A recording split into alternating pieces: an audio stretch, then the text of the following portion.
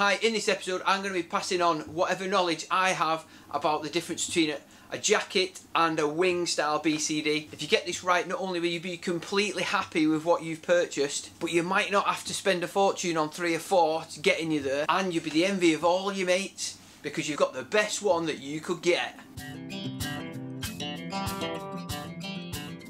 Hi, I'm Andy the Northern Diver and welcome to another video in this series of scuba diving tutorials. If this is your first visit here, be sure to hit the subscribe button. That way you'll be able to see all the other content we've posted and learn loads more about scuba diving. And while you're there, if you can click the bell icon, that'll give you a notification every time we post a new video so you don't miss out. And make sure you stick around to the end where I'll be giving you my top tips. Right, so we've come outside, right, it's a nice warm winter's day. It's not raining for a change as you can probably see behind me I've got three different setups which we'll go through and discuss and see which ones are best. So we've got the jacket style BCD the backplate wing and harness for a single cylinder and the same backplate and harness set up on a twin set wing.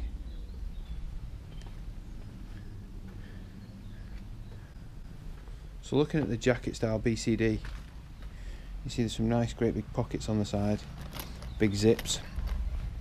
You've got a means of attaching weight pockets in there that can be removed should there be should you need to detach them during the dive.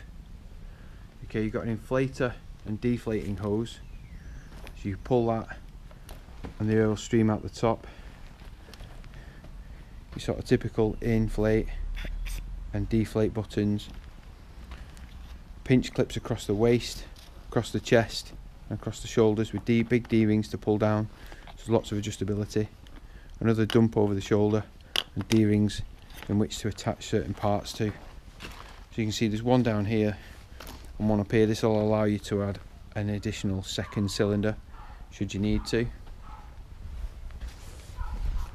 Coming around the opposite side then as you can see we've got weight trim pockets kidney dump another big pocket problem with these pockets I find is when it's inflated it's really hard to get in and out. You can open the zip relatively easily but actually getting what's in the pocket out I find quite hard once this is inflated. So certainly on the surface should you need access to what's in there it's quite hard to get in and out. Looking around the back then we've got this sort of ratchet style cam band. I've seen these come undone as this mechanism sort of fails a little bit where this will ride up to above the neck of the cylinder and if this is the only point of attachment on the top here we've got a little sort of buckle strap being the only means of what's holding the, the tank on. This picture clearly shows what can happen if your cam band fails whilst using an aluminium cylinder. The top of the BCD then, it has this handle to help you carry it alongside the, the top of the cylinder handle. So very much the common style of BCD worn by certainly new divers recreational divers. So this is my preferred style which is called a wing setup. So it comes in three parts. You've got the back plate commonly made of stainless steel, aluminium or carbon fibre. You've got a one piece adjustable harness. So all your all your bits and pieces are carried on there whether it be a normal knife, some cutting tools, you've got your your D-rings for all, all your sort of different parts and placements. We've Got a torch carrier, a buckle and a, and a crotch strap. Then the second part is this wing. This is for a single cylinder.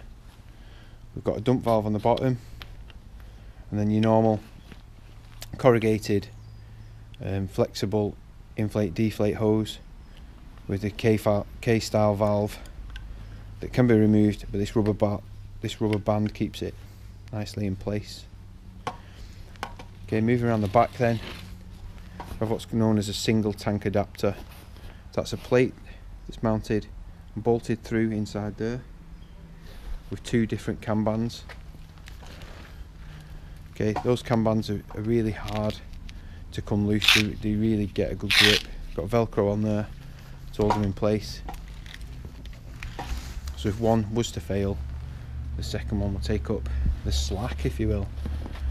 So Means of, of putting integrated weights, you can see we've got a 2.6 kilo lead, what's called a P or a plate weight. So that's mounted down the spine, gives a really good centre of gravity. It's all centralised rather than being around your sides.